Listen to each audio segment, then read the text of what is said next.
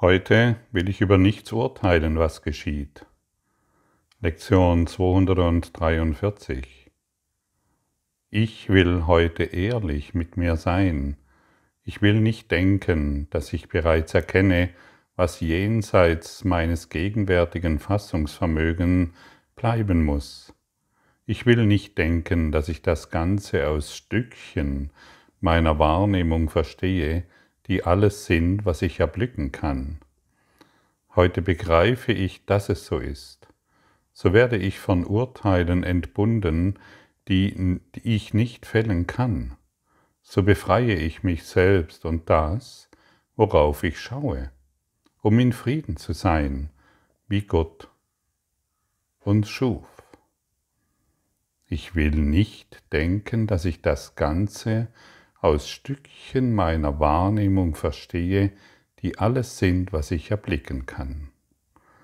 Und diese kleinen Stückchen, die wir ständig betrachten und glauben, das ist die Welt und das ist die Wahrheit und jetzt habe ich etwas verstanden, wir wollen nicht mehr diese kleinen Stückchen, wir wollen uns nicht mehr damit begnügen, sondern heute über nichts urteilen. Denn jedes Mal, wenn ich über etwas urteile, mache ich dieses kleine Stückchen, also meine kleine Welt, immer wieder wahr.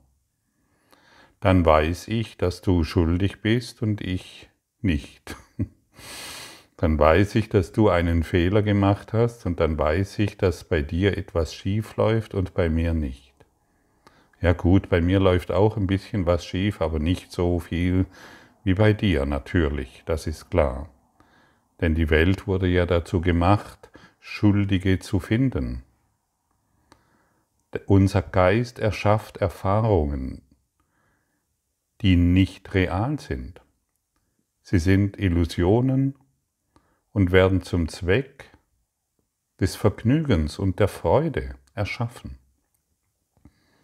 Wir wollen unsere Persön unser persönliches Vergnügen und unsere Freude wollen wir ständig zum Ausdruck bringen. Und das sind dann die kleinen Stückchen, nach denen wir Ausschau halten und die wir dann finden, und das ist dann unsere Realität. Was also ist wahr? Was ist wahr? Die Welt, was ist die Welt? Sie ist ein Angriff auf Gott. Und sie soll uns Vergnügen bereiten. Das ist die Welt, die du siehst. Wenn du auf den Geist, wenn du auf deine Gedanken bzw. auf deine Geistbewegungen achtest, der immer aktiv ist, mit der Erschaffung der Welt und mit der Erschaffung der Welt beschäftigt ist, wirst du erkennen, dass beides zutrifft. Erkenne das. Die Welt ist ein Angriff auf Gott und soll ein Ort sein, wo Gott nicht eintreten kann.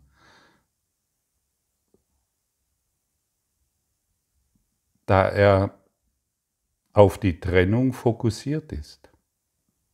Der Geist möchte, beziehungsweise das Ego möchte, dass ich als Körper real bin und dieses scheinbare individuelle Wesen ist von allem getrennt.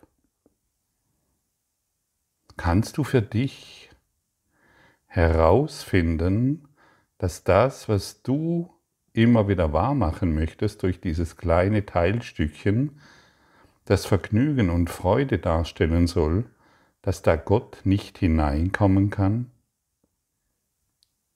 Finde das für dich heraus. Denn solange du Gott nicht hereinlassen möchtest in deinen Geist, solange kann er nicht kommen. Finde das für dich heraus.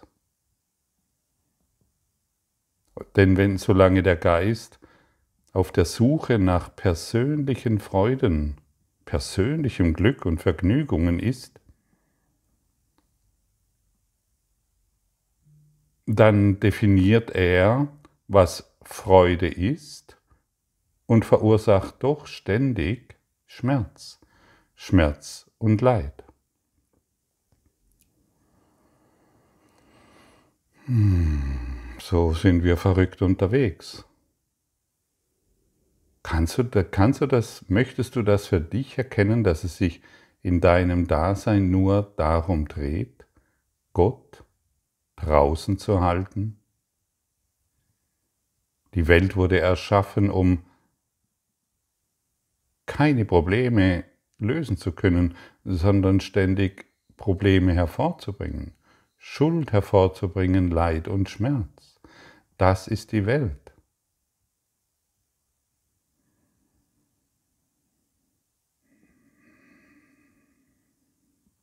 Und natürlich weißt du, dass irgendetwas nicht stimmt. Dein Geist weiß, dein Geist, der den Ego-Gedanken Glauben schenkt, er weiß, dass irgendetwas nicht stimmt, aber er weiß nicht, was es ist.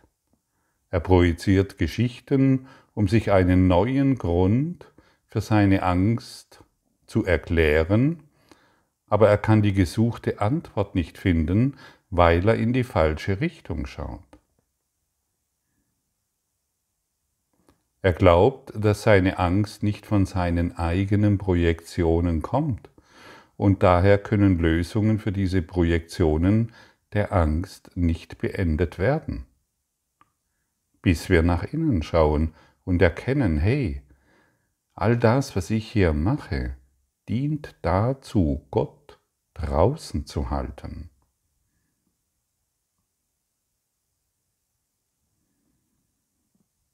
Und Angst entsteht natürlich nur dadurch, weil, weil du die Wahrheit nicht kennst.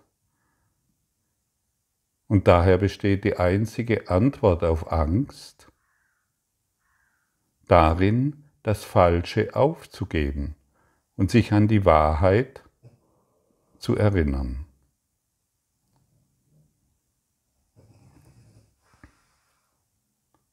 Und wenn du ganz ehrlich bist und in deinen Geist schaust, wirst du feststellen, dass es sich nur um Ich dreht.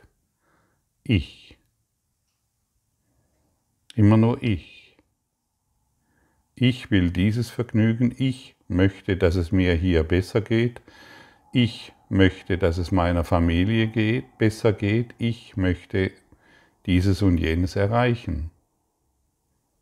Und hat schon mal jemand von euch, der mir hier jetzt zuhört, dieses Ich gefunden? Keiner. Keiner findet dieses Ich. Und wir glauben dem Ich-Gedanken. Und das Denken glaubt, dass das Denken real ist.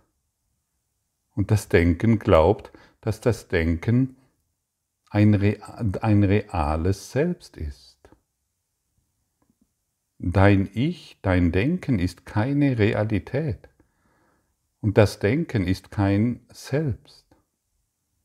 Aus dem Denken zu leben, statt aus dem reinen Geist zu leben, ist die Ursache allen menschlichen Leidens. Das müssen wir auf dem Schirm haben. Das ist die einzige Ursache. Und es dreht sich, und ich wiederhole mich erneut, es dreht sich darum, die Liebe draußen zu halten. Ja, aber ich liebe doch meinen Mann, ich liebe doch meine Kinder, ich liebe doch. Nein, von dieser Liebe sprechen wir natürlich nicht. Wir sprechen von der Liebe, die alles durchdringt. Vor Tausenden, Zehntausenden Jahren erlebten die Menschen schon Leid, Kummer, Krieg, Angst, Wut, Gewalt, Betrug und Lügen. Vor Zehntausenden von Jahren. Und jetzt, heute, gegenwärtig, erleben die, Leute, die Menschen Leid, Kummer, Wut, Gewalt, Betrug und lügen sich an. Und was hat die Menschen dazu gebracht, immer wieder in derselben Krise zu verharren und ungelöste Probleme zu haben? Das Ego,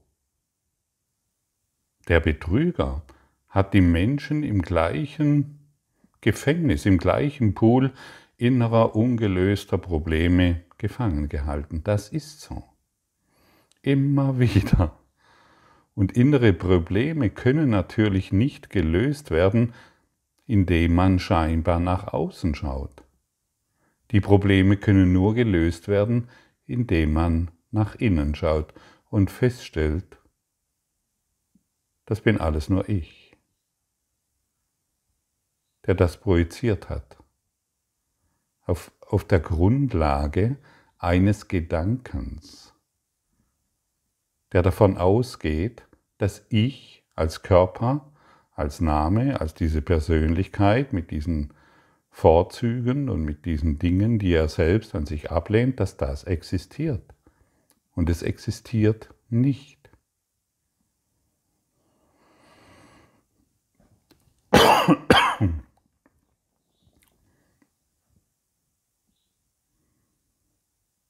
Wie wäre es, wenn du heute ehrlich bist? Ganz ehrlich. Und dann wirst du automatisch nichts mehr, nicht mehr über irgendetwas urteilen wollen, was geschieht. Schau nach draußen, was alles geschieht. Und du hast heute wieder tausende Gründe, um irgendetwas zu beurteilen und dann wieder weiter zu leiden wie schon vor Zehntausenden von Jahren? Tausende Gründe wirst du mir erzählen können, die für dich schlüssig sind, aber es gibt nur einen Grund, diese aufzugeben. Du willst glücklich sein. Denn wir, unser, unser Fassungsvermögen gegenüber der Wahrheit, ist noch sehr gering. Aber wir glauben irgendetwas zu wissen, weil wir uns auf kleine Stückchen konzentrieren, die wir aus der Einheit herausgebrochen haben und glauben, dieser Körper ist real. Den kann ich jetzt lieben. Mit dem kann ich jetzt glücklich sein. Diese Wohnung ist ideal. Oder der Job oder was auch immer. Wir wissen doch gar nichts. Was weißt du denn wirklich? Wie oft wurde hier das schon erwähnt? Wir wissen, wir verstehen nicht. Und wir wissen nichts und deshalb müssen wir uns an irgendjemanden wenden, der weiß. Und das bedarf der Einsicht, was dass das, was geschieht, ich mir selbst antue und dass ich das nicht mehr will. Und, es, und, und dann werden wir demütig. Voller Demut ne, möchte ich heute auf die Stimme des Heiligen Geistes hören. Ich möchte seine Inspiration annehmen und aufnehmen. Ich möchte auf meine Herzstimme hören und dadurch erkennen, was jetzt zu tun ist.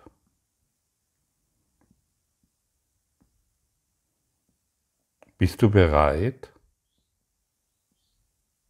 mit dem bist du bereit zu erkennen, dass du mit dem, was du weißt, falsch liegst?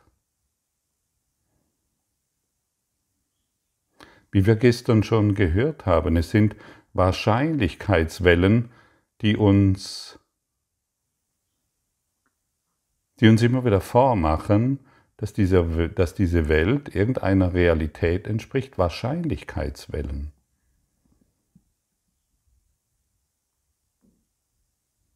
Von denen wir glauben, dass wir hier verletzt oder geschädigt oder gemobbt oder ähnliches, ähnliche Dinge erfahren. Wahrscheinlichkeitswellen. So wie deine Wohnung, in der du jetzt vielleicht sitzt oder in deinem Auto, in dem du fährst. Erschaffen aus deinem Geist.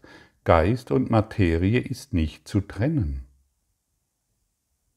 Das, was du als Materie anschaust, wurde aus dem Geist erschaffen und es ist nicht zu trennen. Wenn wir es zu trennen versuchen, machen wir uns selbst geistlos.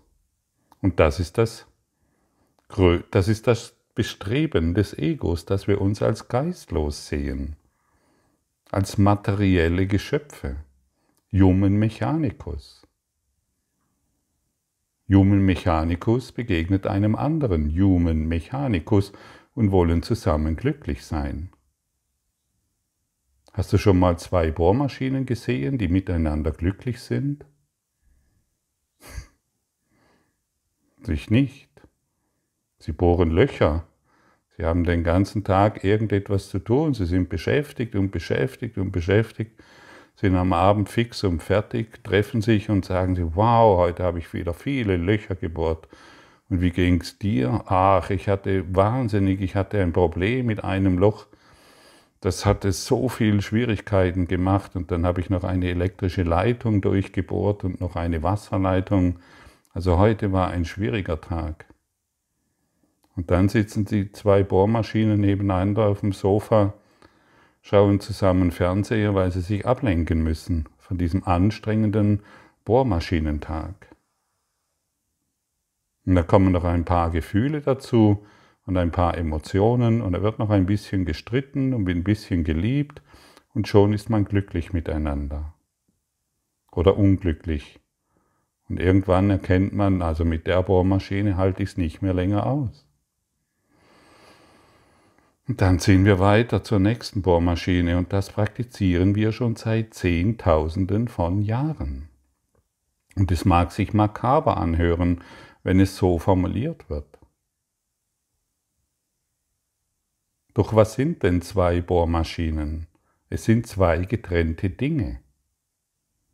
Und wir haben uns zu einem Ding gemacht. Zu einem Ding, das hier irgendwie funktionieren muss, in den Wahrscheinlichkeitswellen, in denen wir uns befinden. Zusammengesetzt aus Atomen und Teilchen.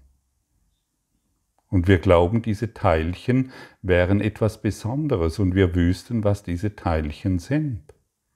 Und dann erklären wir uns, wie schwierig dieser Tag war oder wie schön dieser Tag war. Und dann beschweren wir uns übers Wetter und schon haben wir wieder ein neues Thema und können wieder über irgendwelche oder wir schauen irgendeinen YouTube-Film an oder eine andere Sendung und finden schon wieder Probleme. Die Bohrmaschine teil, äh, urteilt ständig. Human Mechanicus urteilt ständig. Er ist, ein, er ist ein, eine funktionierende Maschine. In einem sehr, sehr, sehr begrenzten Spektrum. Und wir sind in einem, solange wir uns als Menschen sehen, sind wir in einem sehr begrenzten Spektrum. Durch was funktioniert eigentlich die Bohrmaschine? Ich sehe schon, heute ist ein Bohrmaschinentag. Durch, sie wird an den Strom angeschlossen. Ohne Strom funktioniert sie nicht. Aber sie glaubt aus sich heraus, aus sich heraus ähm, zu existieren und sie glaubt sogar, dass sie entscheiden kann, wann sie ein Loch bohrt. ja, so geht's uns. Wodurch, wird die Bohrmasch wodurch funktioniert die Bohrmaschine? Durch elektrischen Strom. Ich werde durch die Liebe Gottes erhalten. Das ist das, was wir erkennen wollen. In jeder Handlung werden wir durch die Liebe Gottes erhalten.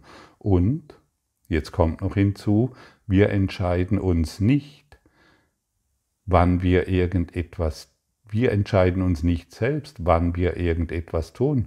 Das wird alles vom Ego-Denksystem. Wir folgen einem noch nicht erkannten Plan eines Ego-Denksystems und drücken hier auf eine Emotion und begegnen diesem oder jenem Menschen.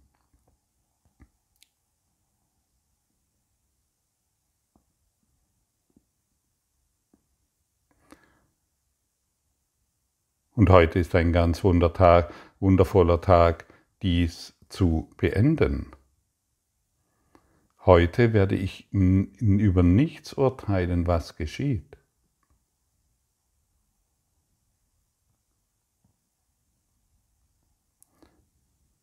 Wir glauben, wir könnten über irgendetwas Gutem und Schlechten urteilen. Gemäß unserer Bildung und sozialem Status glauben wir, dass zu wissen, was gut und was schlecht ist. Und unsere Erfahrungen bestätigen uns das. Und wir verlassen uns darauf, dass unsere Erfahrungen uns helfen, die Welt zu erklären um mehr bessere Urteile fällen zu können oder unterscheiden zu können, wenn irgendetwas sehr, sehr schlecht ist. Und wir sind hier, um zu erkennen, dass wir gar nicht urteilen können. Du kannst gar nicht urteilen. In einer Illusion kannst du nicht urteilen. Was kann denn eine Bohrmaschine schon beurteilen? Wir würden der Bohrmaschine sagen, du, dich verkaufe ich jetzt wieder, du hast irgendwie eine, eine Fehlschaltung in dir. Was kannst du in einer Illusion wirklich beurteilen? Sag's mir, in einer Illusion. Wenn du erkennst, dass du in Wahrheit gar nicht urteilen kannst, dann gibst du es leicht auf.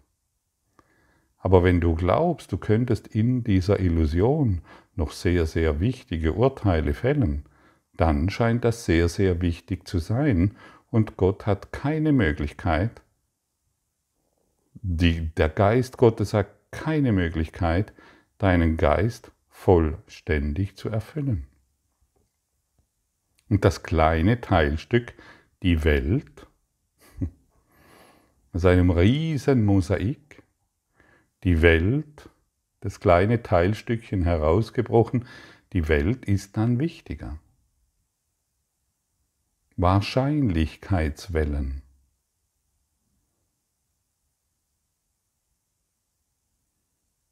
Kannst du dort, wo du jetzt bist, egal wo, Vielleicht sitzt du irgendwo auf einem Berg, hörst zu. Vielleicht fährst du Auto oder du sitzt in deiner Wohnung. Bist du ganz sicher, dass die Welt außerhalb deiner Wahrnehmung wirklich existiert? Oder ist es nur eine Geschichte, die du erzählst? Das ist eine absolut interessante Frage, der du nachgehen könntest, wenn du willst. Hey, kann ich mir überhaupt sicher sein, dass die Welt außerhalb dessen, was ich mir jetzt bewusst bin, überhaupt existiert? Kann sie wirklich existieren oder existiert sie nur, weil ich als Beobachter bzw. als urteilender Beobachter darauf schaue.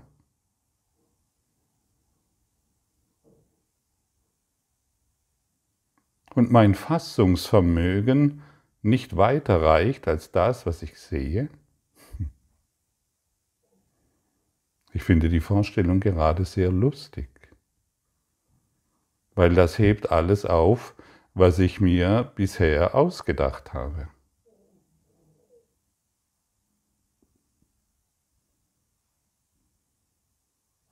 Du wurdest durch, den, durch die Schöpfung hat dich erschaffen wie sich selbst. Und alle Kraft und alle Stärke ist in deinem Geist. Scheinbare Welten hervorzubringen, die für dich real erscheinen. Wie wäre es, wenn du dir jetzt wirklich vorstellst, du sitzt irgendwo in deiner Wohnung, du schaust meinetwegen aus dem Fenster heraus und du erlaubst dir für zwei bis zehn Sekunden das Gefühl, dass in diesem Traum jetzt nur das existiert, was du wahrnimmst. Alles andere existiert nicht.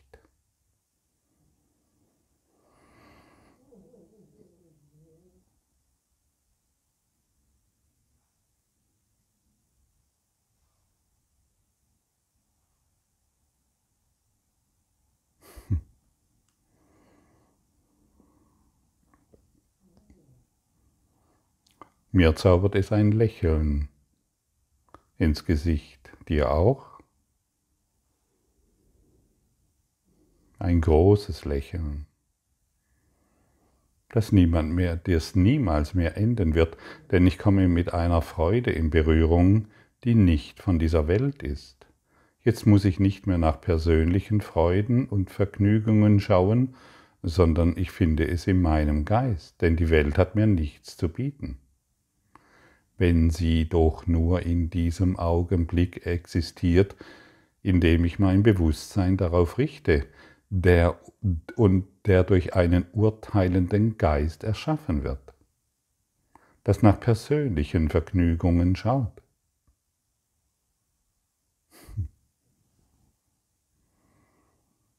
Erlaube dir diese Vorstellung immer wieder und du wirst erwachen.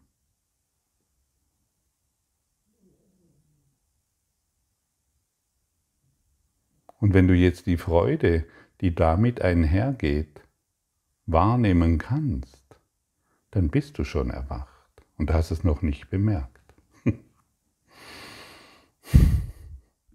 Gut, dass das darauf hingewiesen wird, findest du nicht auch? Vater, heute lasse ich die Schöpfung frei, sie selbst zu sein. Ich ehre alle ihre Teile, in denen ich eingeschlossen bin. Wir sind eins, weil jeder Teil deine Erinnerung enthält und die Wahrheit muss in uns allen als eins leuchten. Heute leuchten wir. Heute leuchten wir aus dem reinen Geist der Liebe.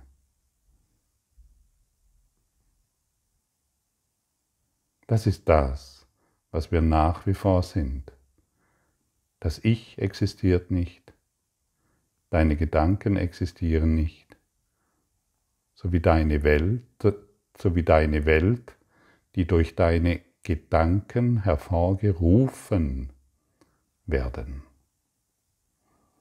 Danke für dein Lauschen.